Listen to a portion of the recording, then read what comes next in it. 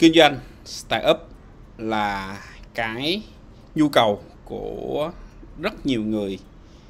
Bởi vì uh, khi mà bạn đi kinh doanh bạn đi khởi nghiệp thì bạn mới có cái cơ hội để làm giàu để thành công trong tương lai cũng như là phát triển sự nghiệp được.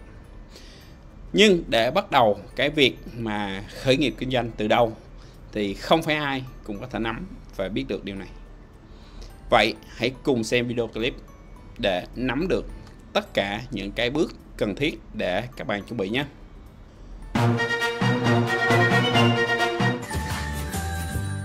Xin chào các bạn, chào mừng các bạn đến với kênh youtube của Tân Nguyễn Marketing. Và ở video clip này Tân sẽ chỉ ra 7 bước đơn giản để giúp các bạn có thể bắt đầu khởi nghiệp kinh doanh một cách là hiệu quả.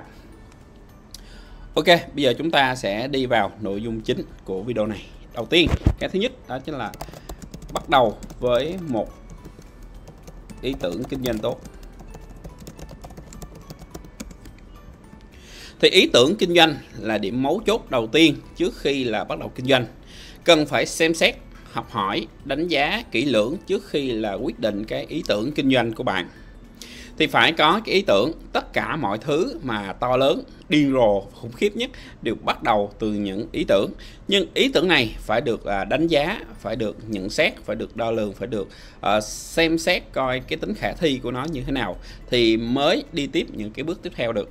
Còn một cái ý tưởng mà nó quá điên rồ nó quá vô lý nó quá à, phi thực tế thì các bạn nên xem xét lại.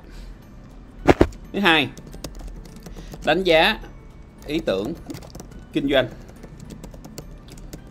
lúc này là chúng ta đi vào cái việc mà xem xét kỹ lưỡng cho cái ý tưởng đó nè. À, nghiên cứu đánh giá ý tưởng của bạn sẽ giúp cho việc quyết định là bạn à, xem là có thể biến cái ý tưởng đó thành hiện thực để kinh doanh hay không. Nghiên cứu đánh giá có thể cho bạn biết là thị trường dành cho cái sản phẩm hoặc cái dịch vụ của bạn có tiềm năng hay không. Hoặc bạn có thể tìm thấy thông tin thuyết phục bạn có nên theo đuổi cái ý tưởng này hay không cái thứ ba đó chính là viết kế hoạch kinh doanh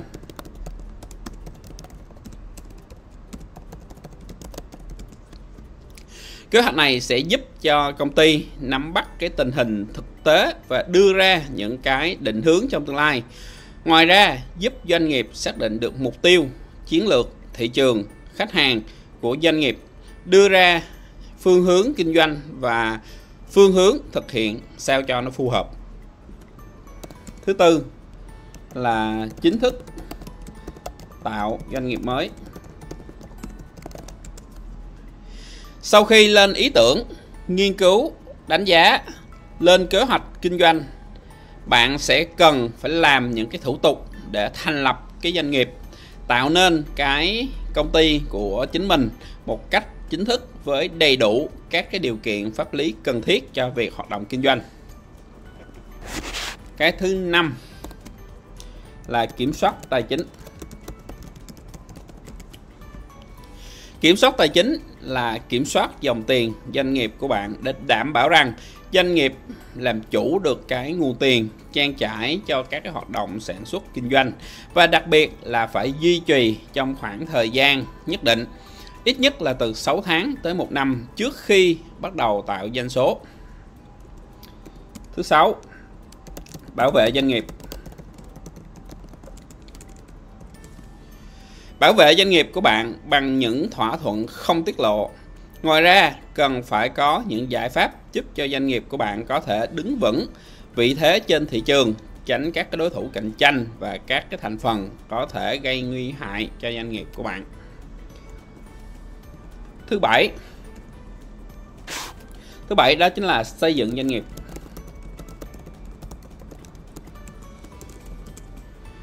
Sau khi hoàn thành các bước quan trọng trên, bạn cần phải nhìn xa trong rộng để xây dựng một doanh nghiệp hoàn hảo có khả năng phát triển tốt trong tương lai.